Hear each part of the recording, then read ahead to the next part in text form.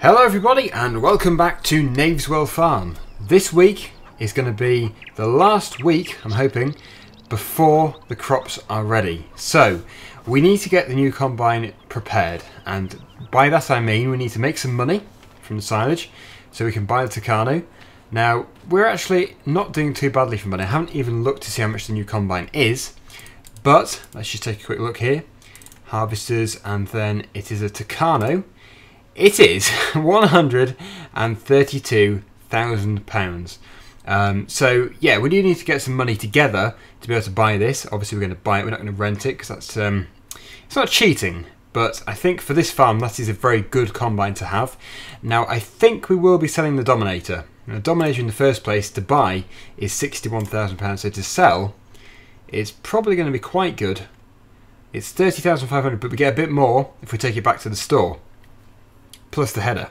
So um, yeah, we don't need to get too much money, probably um, 80,000 or so.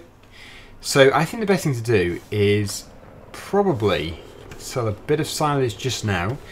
Uh, not going to do it with the bucket, we'll do it with the uh, conveyor belt because we do have the conveyor belt. It's over at the sell point. So if we drop this off here, then we can go and tow it back So that's what we'll do. And this will essentially make the job very fast, very efficient. Uh, the only downside to this is because we only have one conveyor belt, we need to keep setting it up at both yards. So it's going to be a bit slow, but I'll do most of it off screen. Uh, but yeah, looking forward to getting the new combine. Hopefully by the end of this video, we will own it. But we're just going to have to see how well it's going to go. Also, the time is now at times 30. So things are progressing very quickly. Uh, the daytime is obviously going to be quite fast, nighttime will be even quicker because we're going to speed up even more. And eventually, all the fields will be ready. We do need to keep an eye on them though, because I think some of them still need a bit of herbicide, maybe a bit of fertiliser. But on the whole, they are pretty much sorted.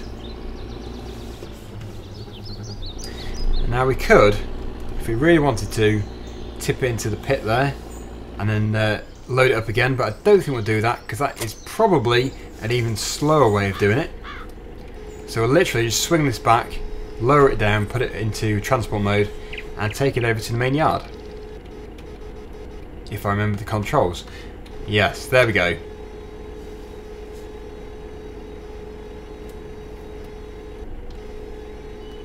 And it should fold up on its own. There we go. So, over to the yard where the silage is. Let's begin loading it up. And the trailer's capacity is actually quite good.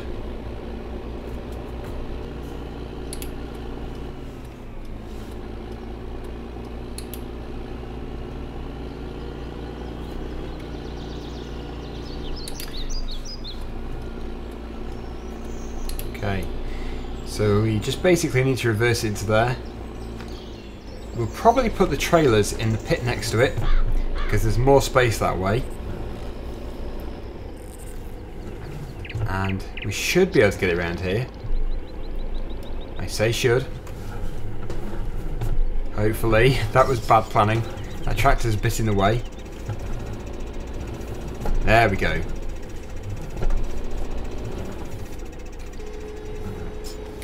And now this should be a very fast operation, hopefully. We do need to be facing the correct direction though. It would help. So, uh, yeah, what we basically need to do is once that is up, we'll change the side and then we'll be able to switch it on. There we go. And because of the design of this pit, it's very easy to drive up. The base game ones are quite hard to drive up if they're full at the front and not quite so much at the back. So this one's been well designed. And again, we'll just swing that across, push that into the pit, does slide a bit. And yeah, then we just need a tractor and trailer. Here is the perfect candidate. So yeah, done quite a bit of silage selling recently, so we're not going to be doing this much. We're going to do everything today. This will be the final time we sell any silage on Knaveswell Farm. Um, and then it is going to be full on harvesting. These tractors are so mucky, they need to be cleaned. It's all those mud holes we've been going through. I'll change that over to that mode.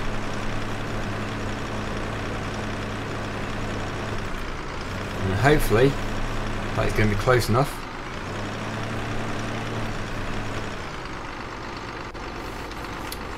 And somehow we need to get back to the tractor. There we go. And it's filling up. You can see what a much faster way this is of doing it. Really good. I mean, it beats doing it with a bucket, that's for sure. You want the tractor with the trailer to be the one that's moving, not the conveyor belt.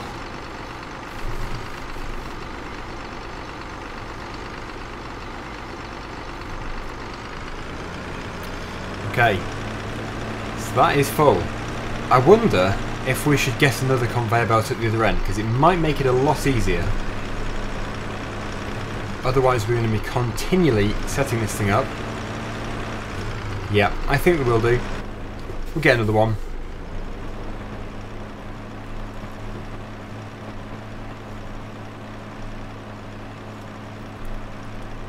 Now this is what I'm really hoping. In Farming Simulator 17, because you can now do the contracting, which is a breakthrough, it's just a, it's such a fantastic addition. Uh, instead of having to make this money fast with silage, which can get boring over time, we'll actually be able to work for somebody else, which is what I've been really looking forward to. As you will have probably gathered by now with my videos, we always are very low on money, and the, the way I always get around this, the solution to this, is always to sell silage. And there's only so many times you can do that without it getting boring. Uh, so, yes, when FS17 comes, I'm just going to be so happy that we can do it that way instead of uh, just doing it this way every time. Right, that's going to be uh, a bit tricky. We'll put it here instead, I think, because otherwise it's going to tip, and we really don't want it to tip. Uh, so what we need to do now is just get another conveyor.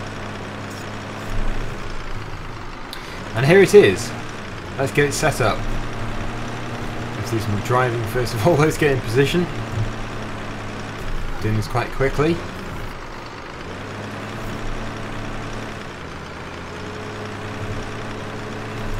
It really doesn't matter which one it goes into, just as long as it goes in.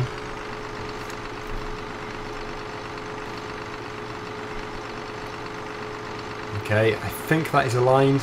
Yeah, that's good. And because the time is already speeded up, it means that it's going to very easily process. Because if you've got the time too slow, then it, it tends to just sit there, processing very, very slowly.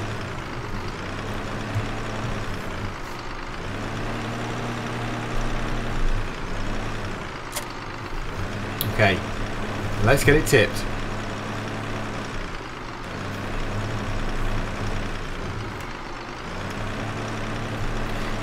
As I said before, it looks like it's spilling it when you do this, uh, but this time I'm going to make sure that we get the money we should do.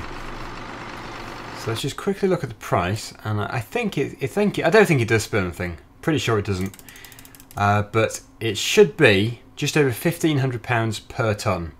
1596. I have 37,800 litres. Which means I think we should get if my maths is okay, about £60,000 I think. Maybe a bit less. That is processing as you can see over there. Working well. If we don't get what I think it is, then either my maths is just terrible, or it's spilling it. I, I really don't know. Oh, wrong button. There we go, processing a lot faster now. Tip the rest in. Yeah. Pretty sure that was 60,000. It did stop halfway, so it makes it harder. But yeah, that's good enough. I'm pretty sure it didn't spill anything. Uh, but please do uh, let me know if you think it did do. It looks like it does, but pretty sure it doesn't. Okay, load number two. And this actually might be the final load we need. Obviously we don't want to be totally in debt again. Uh, but, you know, we don't want to be using the whole heap because we need it for the animals. And we're most likely going to transfer this over to Knaveswell Extended, um, which is apparently finished. So it's fantastic news, can't wait for it. I don't know when it's going to be released. But it's going to be amazing either way.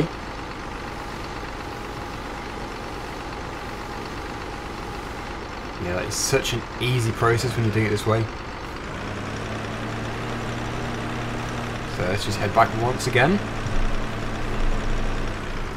And yeah, I think this will be the final load. Now the price may well have changed as the speed is quite, the time speed is quite fast. It's actually gone up. So that's good. We'll make some more money from this. No great demand or anything, but I don't think we really need it. I was reading through the comments, as I always do with every video, and so many positive comments, really love them, um, always good to see. But as always, with any YouTuber I think, I don't think it's just me, um, you always get a few negative comments, and fair enough, because everyone is allowed their opinion. If you hate my videos, then fine, I really don't care. Um, but I do like to improve on why you hate them. So if you do hate them, just let me know why you hate them, and then I can either stop doing that in the future or do that in the future to improve them. Uh, so yeah, that's, that is pretty much all I wanted to say there. Just um, feedback is always good, but just saying I hate the video is kind of pointless because it doesn't really let me know anything. Okay, here we go. Next load. And oh, we need to speed up time, otherwise it's going to stop. Needs to process it fast enough. This time it should tell us the total amount which we've sold from this trailer load because it only messes it up if it stops halfway. Otherwise it tells you a lump sum. So when it's finished, it should tell us. Over 60,000? Yes, well, just about. 60,782. I think that is enough for today. That is enough money for our Combine Harvester. Should we sell the Dominator? I do like the Dominator a lot. Maybe we shouldn't. Yeah, maybe we shouldn't. I, am always like this. Say, oh, yeah, we're going to sell this, and then when I when I get to near the time of selling it, I'm like, oh no, I'm too attached to it now. I can't, I can't get rid of that machine. So we're not going to get rid of it. Uh, I've made my mind up. Seriously, seriously, great demand at the BGA for silage. That's crazy. My timing couldn't have been worse. Okay, one more load. And I mean it, one more load. We can't miss out on this offer. It's starting to go dark. So we've got to get this done quite quickly. I can't believe that. We just sold two loads and then it goes to great demand. If only you could predict when it's going to do it. Actually, you can do. If you go into the XML file, it does actually tell you when it's going to happen and what crop it is. But you don't always want to do that.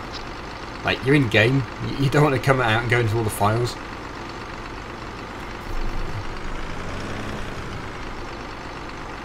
Yeah, so this should be really good. What bonus does it give us? Wow. that is unbelievable. Right, the trailer the trailer isn't full. We better fill it up though. Trust me, this is the last load. We do need to keep some. I wouldn't be selling this load at all if the price hadn't gone up.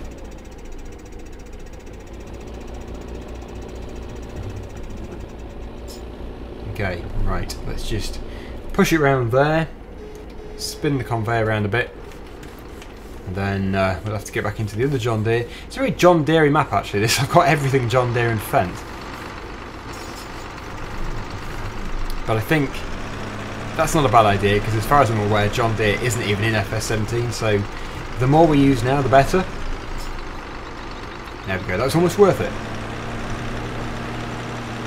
Over to the sell point to get what money we can for this. This is just going to be fantastic. I don't know how much we're going to get, but it should be so good.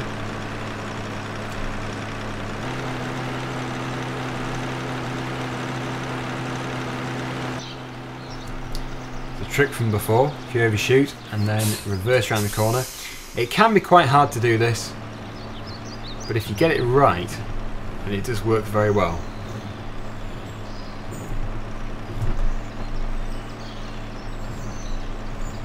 Just sort of guessing where the hopper is on the front. We might have hit it. Oh, not quite. But we didn't get it perfectly, not quite. Let's just reposition. And here we go. This is going to be good. It's that amazing sunset. Yeah, this map has got some of the best sunsets, I think. Working well. Money is rocketing. Almost there. And we get from this load £109,000. That is just crazy. We almost had enough silage when converted into money to buy the combine just in this trailer load. That is just crazy. Anyway, we're going to park up. We're going to go to bed because it's going dark. And then tomorrow morning, in game time, we will be uh, buying the combine. Really looking forward to this because I don't think, I might be wrong, uh, but I don't think I've ever used a Claas Tucano combine in Farming Simulator before. So this is going to be a real treat. I think it's going to be a perfect combine for the map. It's going to fit in very well because it's like a step up from the Dominator, the uh, the new equivalent. And uh, yeah, it's not too big, not too small, so it's perfect. This is probably best just back in the shed down here or into the pit. I know, there is space. Into the shed then. And we should probably lower the, the sides up on there. And there we go. So, see you in the morning.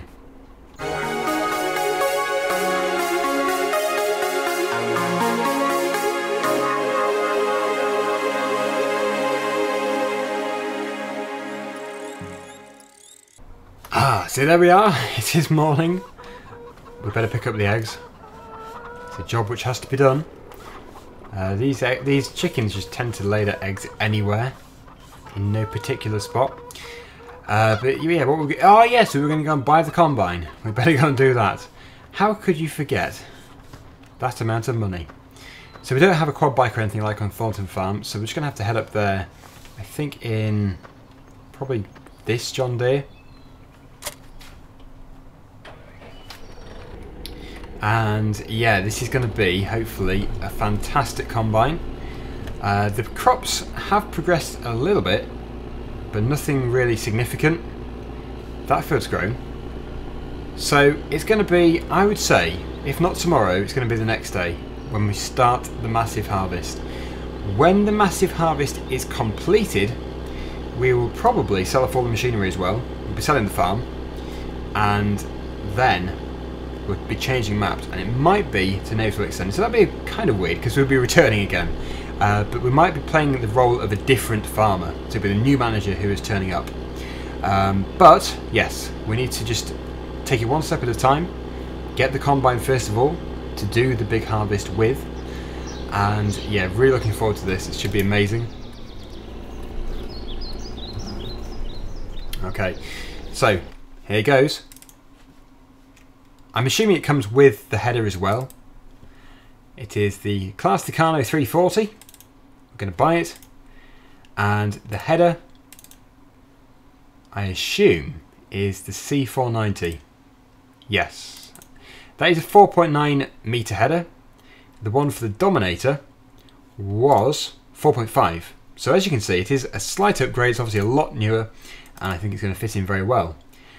As for the header trailer, I don't think there's anything actually came with it, but we do have a Claas 1 anyway, so we'll probably be using that, if it does fit okay.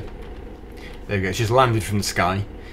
So let's just have a quick tour of this Combine Harvester. First impressions, very good, looks really good. Uh, let's just get inside it. Uh, so the controls here, standard kind of controls, disable straw swath, pipe out, unfold harvester, all the usual stuff. Um, And in the cab, pretty good. Lots of detail, like that a lot. Working mirror is always good to see. As for IC, interactive control, I don't think there is any. That's not the end of the world. It's decent combine. Beacons work. Three beacons, love it. Uh, the indicators, do they work? They do indeed. Very good. Lights. Yep. So that is really good. Now I think we're going to get on well, me and this combine. We are going to be using it for quite a while, so we're going to have to get on really. Ah, that trailer is probably too big. Just a little bit too big. Ah, nice reversing tone. Anyway, we'll be sorting this out tomorrow because that is most likely when we're going to start using it. We do already have a field to do, so we'll do that first of all. Let's just power it up. Unfold that first of all. Can you see in there? Kind of. See what it sounds like?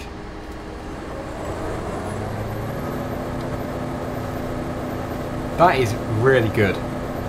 Yeah, this is this couldn't be a better combine harvester for the map. The size, the horsepower and everything is just perfect. So, I'm going to leave it there. We will be returning tomorrow, of course, for more Knaveswell Farm. Three episodes a week. And yes, hopefully we will be starting the harvest. It's going to be, first of all, in field number 10, because that's the first field we did. Ah, two more fields already. Field number 9 and 8 already. And field number 19, 20, 23 and 1 are, I think, on their either second to last growth stage or the last one. So, yeah, this is going to be good. Looking forward to it. Stay tuned. Starting the big harvest tomorrow. And it's going to be immense. Until then, thanks for watching. And I'll see you again soon. Bye for now.